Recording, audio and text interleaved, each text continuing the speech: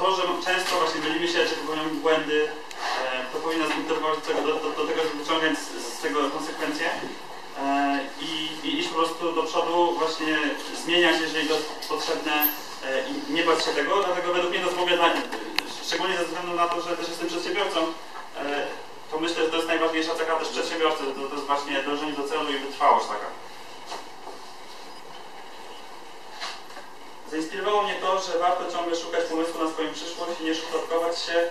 Po spotkaniu jestem gotowa do walki o pracę, z której, Nie. e, z której będę mogła e, czerpać satysfakcję.